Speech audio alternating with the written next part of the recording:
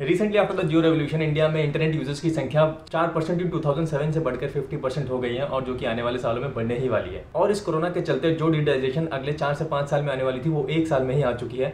इस लॉकडाउन के चलते लोगों ने ये सीख लिया है कि बिना घर से बाहर निकले कैसे अपने काम को करना है, कैसे अपने इनकम सोर्स को बनाए रखना है, कैसे अपने बिज़नेस को कंडक्ट करना है from online study classes to online yoga classes कैसे बड़ी बड़ी एमएनसीज की बोर्ड मीटिंग आजकल जूम पे ही हो जाया करती है। इस लॉकडाउन के चलते लोगों की एक हैबिट में जो सबसे बड़ा चेंज आया है, वो उनकी बाइंग हैबिट्स में। आजकल लोग बिना घर से बाहर निकले ही सामान को खरीदना चाहते हैं, जिसमें उनकी हेल्प कर रहा है ई कॉमर्स वेबसाइट्स जोमेटो पे खाना डिलीवर हो जाता है अमेजॉन ग्रोसरीज डिलीवर कर देता है और even fresh fruits and vegetables deliver करता है Grofers Indian e commerce business जो कि 2017 में सिर्फ़ 38 बिलियन डॉलर्स का था, उसके बढ़ के, वो बढ़ के 200 बिलियन डॉलर्स की मार्केट होने की आशंका जताई जा रही है विद इन 2026 इस ई कॉमर्स के चलते, इस ई कॉमर्स के चलते ही लोग घर पे बैठे बैठे आज बिना मैन्युफैक्चरिंग और बिना बहुत बड़ा इन्वेस्टमेंट किए अपना ऑनलाइन बाइंग और सेलिंग का बिज़नेस बहुत अच्छे से कंडक्ट कर रहे हैं, जिसमें उनकी हेल्प कर रहा है अमेजॉन शॉपिफाई और दूसरे बड़े बड़े ई कॉमर्स प्लेटफॉर्म्स आज ई कॉमर्स के माध्यम से छोटे छोटे M S house wives uncle aunty even school students भी अपने घर पर बैठकर ऑनलाइन बाइंग और सेलिंग का बिज़नेस कर रहे हैं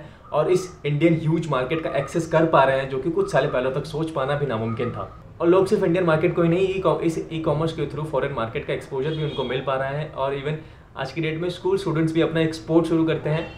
मैंने खुद ने ऐसे बहुत सारे लोगों का एडी कोड रजिस्टर करा है जो कि एक मैंडेटरी रजिस्ट्रेशन होता है बिफोर एनी एक्सपोर्ट मैंने जिनका एडी कोड रजिस्टर कराया है मेजोरिटी उनमें से ऐसे लोग थे जिन्होंने अभी अभी अपना बिज़नेस स्टार्ट किया था ऑनलाइन और कुछ टाइम में ही उनको एक्सपोर्ट्स के ऑर्डर भी मिलने शुरू हो गए थे।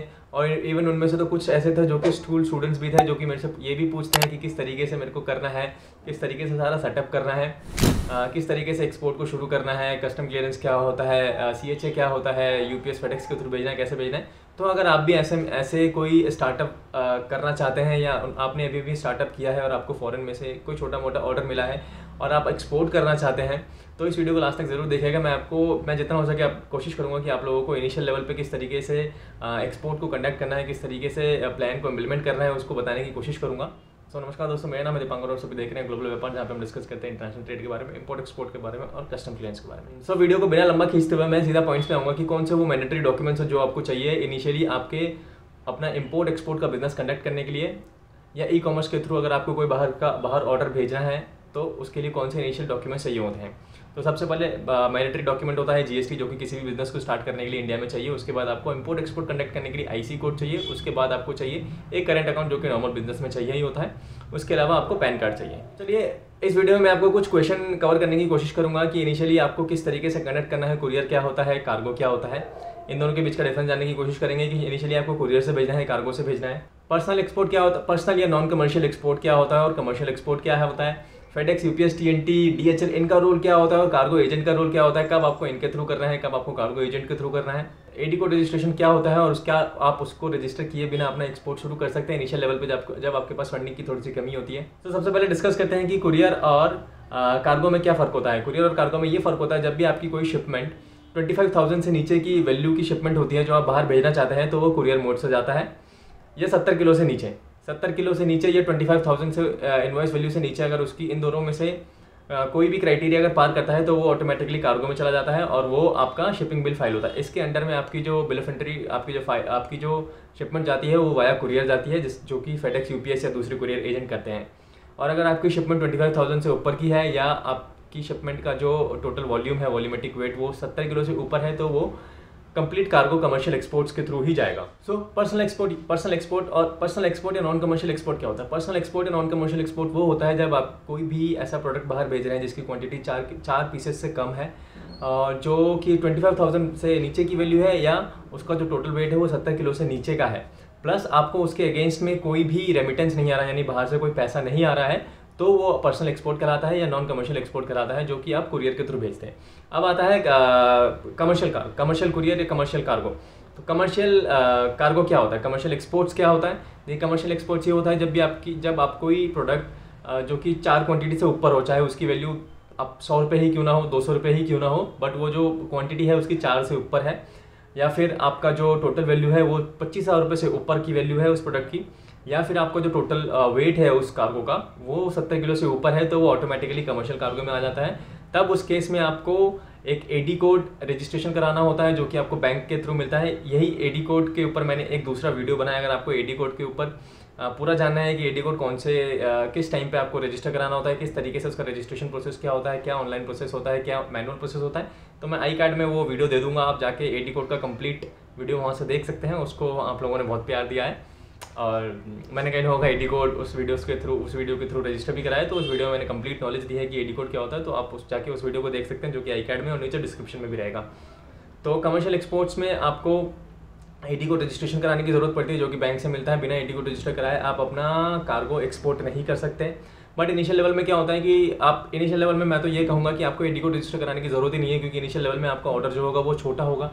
अगर आपको एक पीस दो पीस तीन पीस भेजना है और उसकी जो वैल्यू है वो ट्वेंटी फाइव थाउज़ेंड से नीचे है और मैं एज्यूम कर रहा हूँ कि अगर वो तीन चार पीस होगा और उसकी वैल्यू ट्वेंटी फाइव थाउज़ेंड से नीचे होगी तो उसकी, उसका जो टोटल वेट होगा वो जनरली सत्तर किलो से नीचे ही होगा। तो आप इस केस में बिना एडी कोड के भी आप अपना एक्सपोर्ट कर सकते हैं। फिर चाहे वहाँ से रेमिटेंस आ जाए रेमिटेंस आए बट उसकी जो वैल्यू है उस ट्वेंटी फाइव थाउज़ेंड से नीचे की है और वो चार पीसेस से कम है तो वो कमर्शियल नहीं, वो आप उसको एक सैंपल कह के भी एक्सपोर्ट कर सकते हो। उस केस में आपको एडी को रजिस्टर कराने की भी ज़रूरत नहीं है। सो so, अब बात करते हैं फेडेक्स यूपीएस डीएचएल और cargo agent FedEx UPS DHL और कार्गो एजेंट में क्या फ़र्क है? देखिए फेडेक्स यूपीएस डीएचएल जो है ये कंसोलिडेटर होते हैं। ये इनका एक फुलफिलमेंट सेंटर होता है जहाँ पे वो लोग सबका कार्गो इकट्ठा करते हैं और एक उनके पास उनका खुद का कैरियर उनका खुद का प्लेन होता है। तो जब भी आपका जो कार्गो है जब भी आपका जो प्रोडक्ट है वो पैंतालीस किलो से नीचे है ना हम तो कहते हैं कि इवन पचास किलो तक भी है तो आप इन कुरियर्स के थ्रू जा सकते हैं। कुरियर्स में क्या होता है कि अपना कुरियर के अंडर कुरियर के अंडर लेके जाते हैं।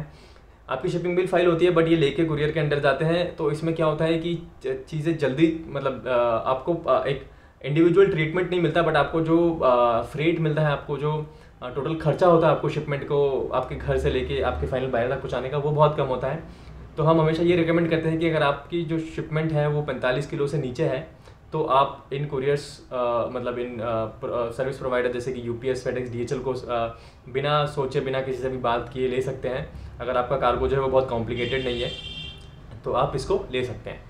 और कार्गो एजेंट कब काम में आता है कार्गो एजेंट तब काम में आता है जब आपकी जो क्वांटिटी है वो पैंतालीस किलो से एक्सीड कर जाती है जैसे कि हम लोग करते हैं। हमारे जो एक्सपोर्ट्स होते हैं वो जनरली 200 किलो 300 किलो 400 किलो हमारे क्लाइंट एक्सपोर्ट करते हैं। अलग अलग कंट्रीज़ में उस टाइम पे हम वो हम यानी सी एच ए को या फ्रेट फॉरवर्डर्स को अपॉइंट करते हैं जो कि उनके बिहाफ में सारा क्लियरेंस कराते हैं। और एक सेपरेट शिपिंग बिल फ़ाइल होता है। शिपिंग बिल भी दो तीन तरह के होते हैं। उस, वो मैं किसी और वीडियो में डिस्कस करूँगा। कुरियर में अलग शिपिंग बिल फ़ाइल होता है कार्गो में अलग शिपिंग बिल फ़ाइल होता है। तो वो मैं किसी और वीडियो में आपको बताऊँगा। तो जब हम कार्गो एजेंट पिक्चर में आते हैं तो हम क्या करते हैं, उनके बिहाफ में उनको एक इंडिविजुअल सर्विस मिलती है। उनको एक पर्सनलाइज सर्विस मिल पाती है कि अलग अलग कार्गो है, किस तरीके से एग्ज़ाम कराना है, किस तरीके से डील करना है वहाँ पे ऑफिसर से। तो उस टाइम पे कार्गो एजेंट पिक्चर में आता है। जब आपका जो प्रोडक्ट है वो थोड़ा कॉम्प्लिकेटेड है, थोड़ा एक्सपेंसिव है, पैंतालीस किलो से ऊपर जा रहा है, तब कार्गो एजेंट को हायर करना एक स्मार्ट चॉइस होती है। उसके नीचे अगर 45 किलो से 20 25 किलो 30 किलो 40 45 किलो तक की आपकी कोई शिपमेंट है तो FedEx D D H L U जो रेट्स देते हैं, वो बहुत ही कन्वीनियंट और बहुत ही चीप रेट होते हैं प्लस जो जनरली आपको एशियल लेवल पे क्या होता है कि छोटी शिपमेंट होती है तो आपको डोर डिलीवरी ही बोलता है आपका, जो क्लाइंट है कि मेरे को डोर डिलीवरी चाहिए। और डोर डिलीवरी के टाइम पर जो rates FedEx D H L देता है, वो और कोई मैच नहीं कर पाता है। तो आई होप कि आपको क्लियर हो गया होगा कि कार्गो एजेंट और फेडिक्स डी एच एल में क्या फ़र्क होता है, कि कौन, दोनों का रोल क्या होता है। और एडी कोड एडी कोड का मैंने आपको बता दिया है कि एडी कोड होता है जब भी आपकी शिपमेंट की वैल्यू 25 किलो से शिपमेंट की जो वैल्यू है वो पच्चीस हज़ार से ऊपर, या आपका टोटल वेट जो है वो आपका सत्तर किलो से ऊपर या आपकी टोटल क्वांटिटी जो है वो चार पीसेस से ऊपर जा रही है तो आपको एक एडी कोड होता है जो कि बैंक से मिलता है। एडी कोड और एफ़ कोड एक लेटर का फॉर्मेट में आपको स्क्रीन पर भी दिख जाएगा। वो लेटर आपको या तो ऑनलाइन के माध्यम से या तो मैनुअल के माध्यम से आपको जिस भी पोर्ट से एक्सपोर्ट करना है सपोज़ आपको आईजीआई एयरपोर्ट से एक्सपोर्ट करना है। इनिशियल लेवल पे एयर से ही जाता है, क्योंकि फेडेक्स यूपीएस डीएचएल ये लोग एयर में ही ऑपरेट करते हैं सी और लैंड में ऑपरेट नहीं ऑपरेट नहीं करते। तो फेडेक्स डिजिटल यू इनिशियली यही कहता है कि अगर आप कोई भी एक्सपोर्ट्स कर रहे हैं तो आपको ई को रजिस्टर कराना ज़रूरी है।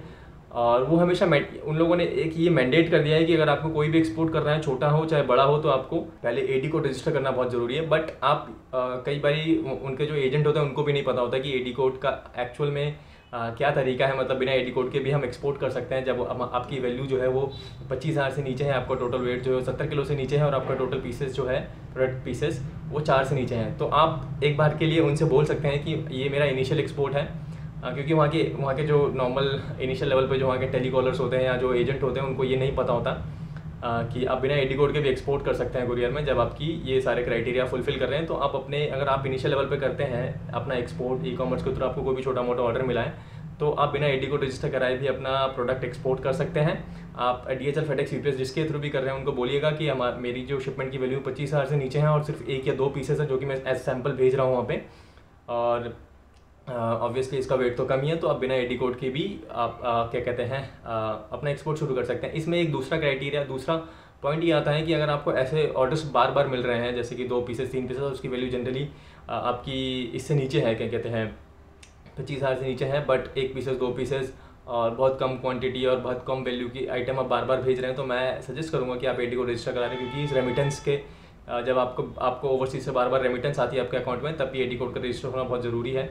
इन केस गवर्नमेंट ऑडिट कभी आ जाए या कुछ बाई चांस हो जाए तो एक एडी कोड रजिस्ट्रेशन बहुत बड़ा इशू नहीं है। एक बार रजिस्टर कराना होता है वो लाइफ टाइम के लिए होता है। सो so, ये इनिशियल एक मोटा मोटा था। मैंने आपको आ, क्या कहते हैं आइडिया देने का कोशिश किया है कि अगर आप ई कॉमर्स के थ्रू अपने एक्सपोर्ट करना चाहते हैं छोटा मोटा इनिशियल लेवल पे कोई भी एक्सपोर्ट करना चाहते हैं तो इस तरीके से करते हैं। और मैं एक सेपरेट वीडियो बनाऊँगा उसमें मैं बताऊँगा कि आपको air export L export sea export land export क्या होता है उसके लिए मैं एक अलग वीडियो बनाने की कोशिश करूँगा। तो अगर आपको ये वीडियो अच्छा लगा है तो आप लाइक कर दीजिएगा सब्सक्राइब कर दीजिएगा मेरे चैनल को। मैं ऐसे ही इन्फॉर्मेशन लाता रहता हूँ regarding customs import export customs clear trade forwarding तो और अपने दोस्तों के साथ भी शेयर कर सकते हैं जो अपना बिज़नेस स्टार्ट करना चाहते हैं इम्पोर्ट एक्सपोर्ट में। सो दूसरे वीडियो में मिलते हैं। थैंक यू सो मच दोस्तों मेरे वीडियो देखने के लिए। धन्यवाद।